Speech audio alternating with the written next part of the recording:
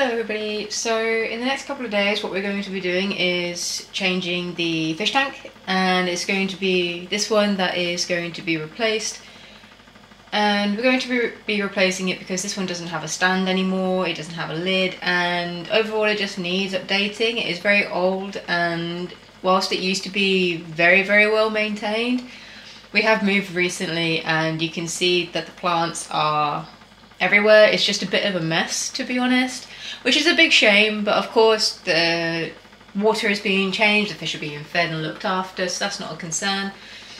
But we just want the tank to look a bit nicer and to be a bit more new and a little bit bigger. So this is the current setup that we've got. You can see that we've got many molly fish in there. We've also got many live plants with some floating plants and some ones that are kind of in the in the soil.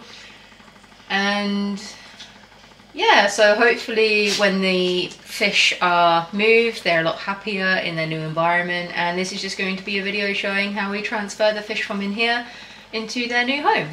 So that's all for now and let's start building the cabinet. So this is the cabinet box. So what we're going to do is lay it down, open it up and see where we go from there.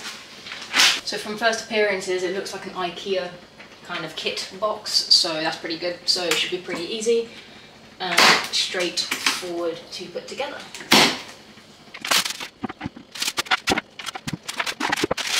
So these are the nuts and bolts that will be used to put everything together and solidify it in. So it looks like I'm going to be needing a screwdriver, maybe a hammer, but I'll get those in a minute.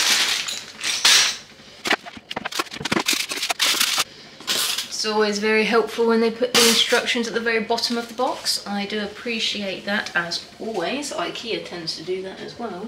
So these are the instructions. It's literally just two pieces, well, two sides of paper. And it shouldn't be overly difficult. So I'm just going to get a hammer and a screwdriver and we'll be ready to begin. So here is our screwdriver and our hammer and we are ready to begin. These instructions are, are very bad. These are really not very clear at all.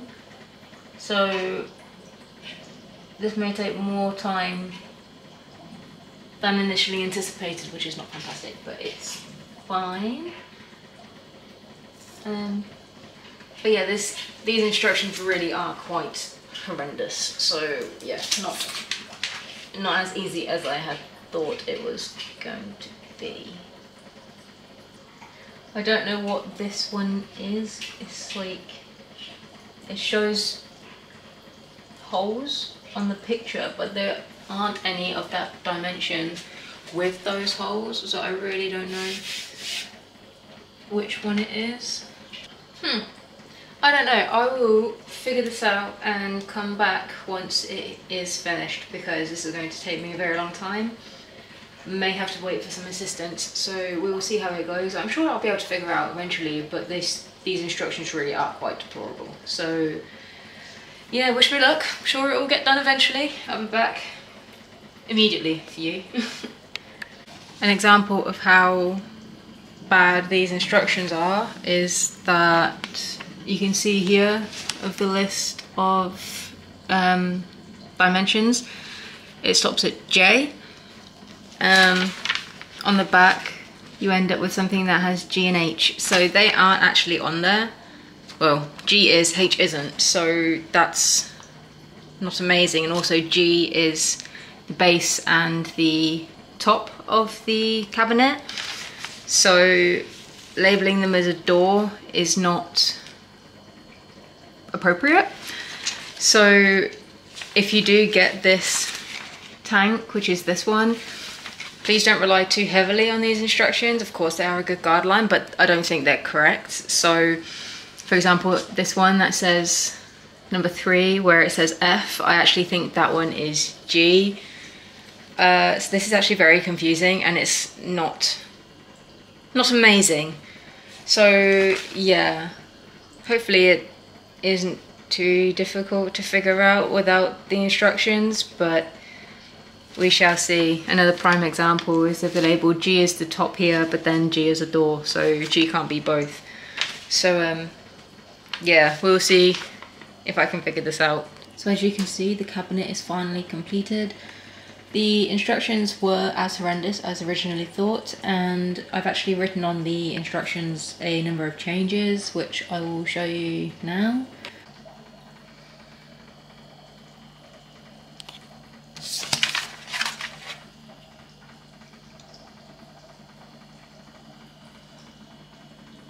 Overall it seems like a fairly sturdy cabinet. The door isn't quite level but that's something that I just need to fiddle with and I'll figure that out. Uh, the doors are magnetic so you push them and they open. They don't have a back which is perfectly fine. Um, so they have this kind of middle kind of partition which is good to separate both sides depending on what you want to put in them. And then the other side is very similar. So here we go. So it was very simple once I'd figured out that the instructions were useless. Um, so it seems pretty sturdy, so I have no worries that the tank is going to be perfectly safe on top of it. Um, so yeah, so hopefully once the tank is on and up and running, then it'll be very pretty and it'll be a very nice home for the fish. Hello, so now that we have the new tank in position, what we're going to do is add or like pour in the water from the previous tank and we're just doing that so the fish aren't too shocked when they go into their new home. They're currently still in their little bucket which is fine for now but we don't want them in there for too long so we're going to put the water in, put the old compost in, then put the new soil in and then add the decorations and then put the fish in. So what we're currently going to do is like I've just said put in some of the old water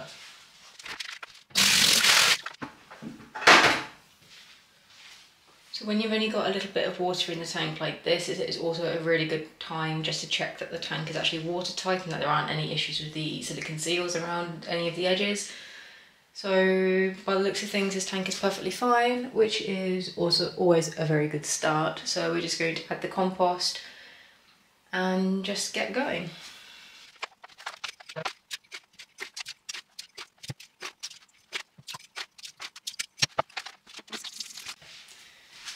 You can see, the water is basically black, but that's fine because that's what happens when you add soil to a fish tank.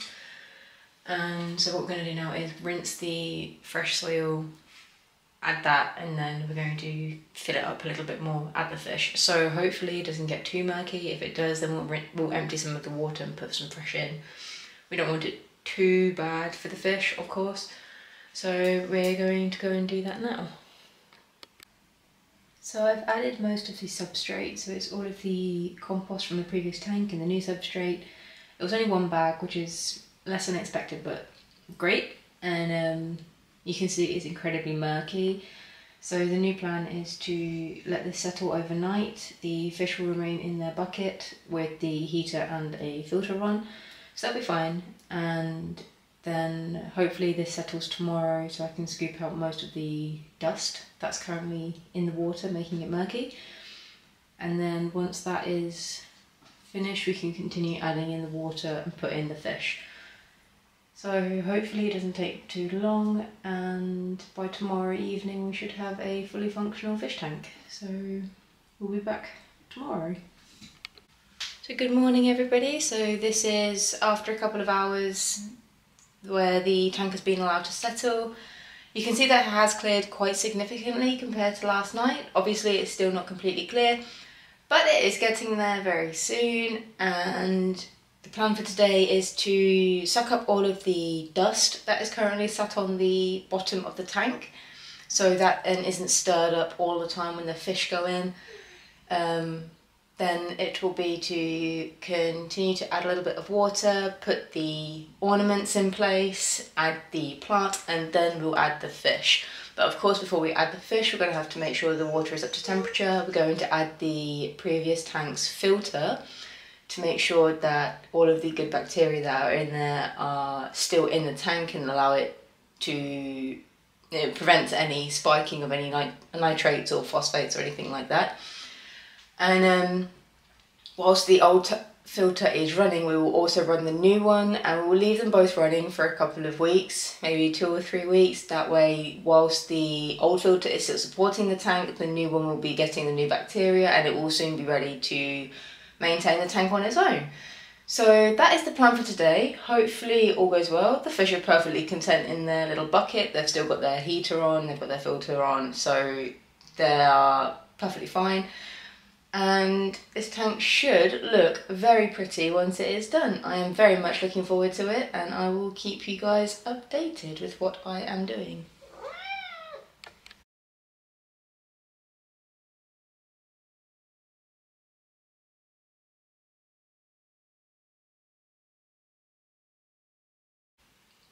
So now we have the plants in, the compost in, the ornaments in, all that is left is to add the final bit of the water and then add the fish. So hopefully it, it goes smoothly, I'm sure it will, and the fish should be quite content in their new home. So we'll see how they do.